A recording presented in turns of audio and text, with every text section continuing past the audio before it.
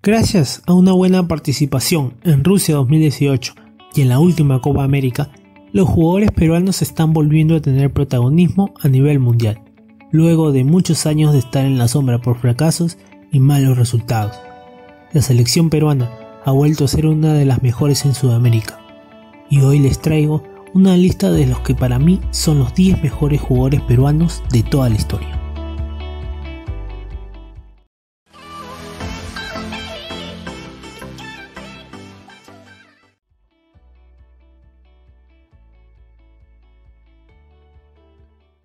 Ampliamente considerado como el máximo exponente del fútbol peruano en Europa, Claudio Pizarro es el futbolista latinoamericano más goleador y ganador en la historia del fútbol en Alemania. Recientemente retirado, anotó más de 340 goles en su carrera. Además de ello, es el máximo goleador histórico del Werder Bremen y noveno goleador histórico del Bayern de Múnich. En ambos clubes es considerado ídolo y también es muy recordado por su paso en Alianza Lima antes de su gran salto a Europa. A nivel de competiciones internacionales, es el cuarto máximo goleador latinoamericano en copas europeas, Champions League, la desaparecida Copa UEFA y la UEFA Europa League, al anotar 48 goles, situándose solo detrás de Lionel Messi, Alfredo Di Stéfano y el Kun Agüero, sin olvidarnos de que es el segundo máximo goleador extranjero de la Bundesliga, solo superado por su ex compañero Robert Lewandowski con la selección peruana, es el quinto máximo goleador histórico con 20 goles y el décimo con más partidos. Su máximo logro con la selección es el tercer puesto conseguido en la Copa América de Chile 2015. Sin duda alguna, su deuda más grande fue no haber podido jugar un mundial con Perú, pero creo que Claudio no necesitó jugar un mundial para representar tan bien al Perú a nivel internacional.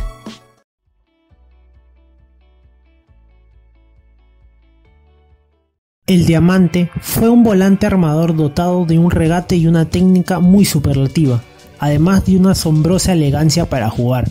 En 1981, Uribe fue considerado el tercer mejor jugador de América, solo por detrás de Maradona y Zico.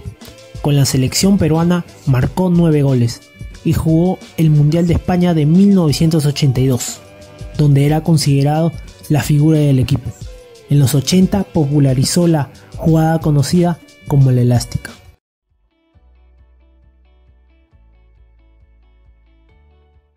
El patrón Velázquez fue un mediocampista defensivo de gran juego técnico y elegancia.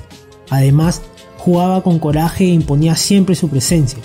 Integró la selección peruana que ganó la Copa América de 1975 y participó en los Mundiales de Argentina 78 y España 82.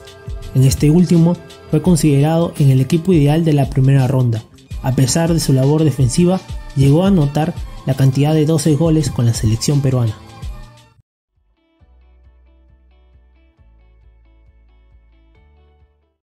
Sotil fue un delantero hábil, de magnífico regate y manejo de ambos perfiles. Es uno de los máximos exponentes de la notable generación de futbolistas peruanos de los años 70 integró la selección peruana que ganó la Copa América de 1975 y llegó a cuartos de final en los Mundiales de México 70 y Argentina 78. Además, anotó 15 goles en 49 partidos con su selección. Llegó a jugar en el Barcelona al lado del mítico Johan Cruyff, con quien formó una letal dupla ofensiva.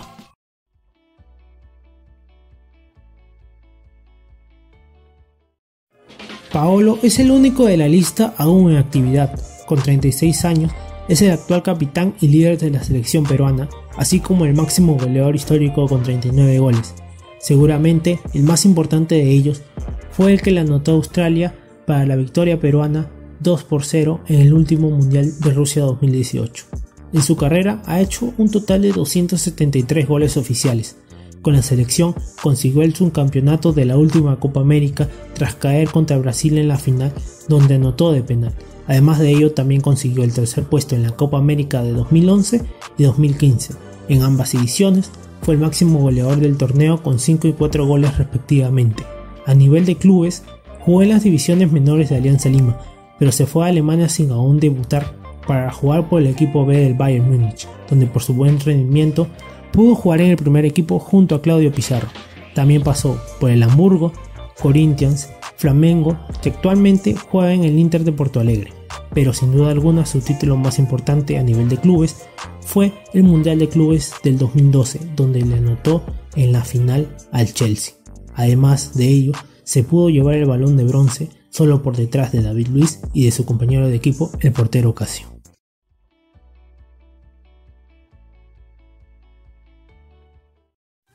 Llamado el capitán de América, Chumpitaz es para muchos el mejor defensa peruano de todos los tiempos. Fue durante casi 20 años el capitán y gran baluarte defensivo de la selección peruana de fútbol, con la que tuvo la Copa América de 1975. Participó en los mundiales de 1970 y 1978. Está considerado entre los 100 mejores futbolistas de la historia de los mundiales, según el diario The Guardian. Además, es considerado uno de los máximos ídolos de Universitario de Deportes.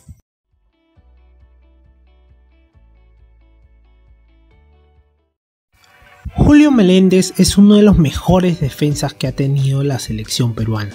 Se desempeñaba como central, donde mostraba su gran jerarquía al controlar a los rivales sin necesidad de recurrir al juego brusco. Consiguió la Copa América de 1975, donde hizo dupla con Héctor Chumpitas. Jugó cuatro años en Boca, equipo en el cual se convirtió en ídolo a tal punto que está considerado dentro del once histórico del equipo Ceneice.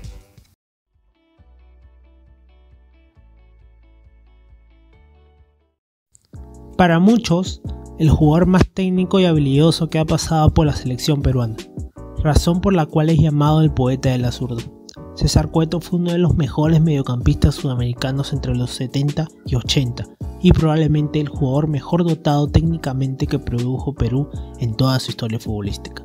Poseía una excepcional habilidad, gran visión de juego y capacidad para la asistencia, además de un muy vistoso estilo que marcó época. Destacó con la selección peruana en los mundiales de Argentina 78 y España 82. Además, es considerado ídolo en Atlético Nacional de Medellín y en Alianza Lima, donde es considerado uno de los máximos ídolos del club vitoriano.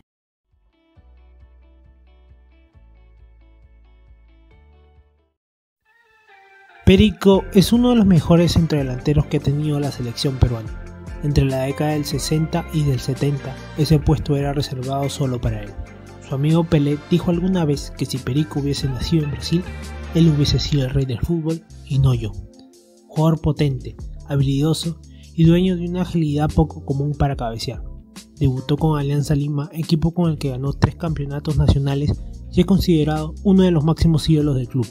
Además, anotó el gol que eliminaría a Argentina del Mundial de México 70 y clasificaría a Perú a esa competición donde alcanzó los cuartos de final.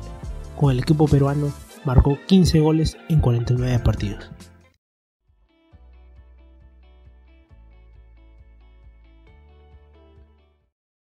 Hablar del nene Cubillas es hablar del referente máximo del fútbol peruano en todo el mundo.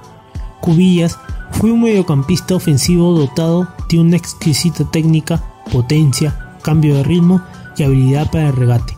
Gracias a su gran capacidad goleadora, el nene es el noveno goleador histórico de la Copa del Mundo, con 10 tantos, y además es el máximo goleador de todos los volantes de los mundiales. Su gol más recordado seguramente es aquel de tiro libre ante Escocia en Argentina 1978. Es considerado por la Federación Internacional de Historia y Estadística de Fútbol como el mejor futbolista peruano del siglo XX y uno de los mejores futbolistas sudamericanos también de ese siglo. Además de ello, es considerado el máximo ídolo en Alianza Lima. Y hasta acá llegó el video del día de hoy. ¿Quién les parece el mejor jugador peruano de toda la lista? Y si falta alguno, no se preocupen, que si este video es apoyado, haré la segunda parte con algunos jugadores que faltan en la lista. Y ya para despedirme, un saludo a todos los peruanos por las fiestas patrias y espero que el video les haya gustado. Si es así, no olviden de suscribirse al canal, activar la campanita de las notificaciones, decir qué les pareció el video en la caja de comentarios y compartirlo con amigos. Un saludo a todos y nos vemos en el próximo video. Chao.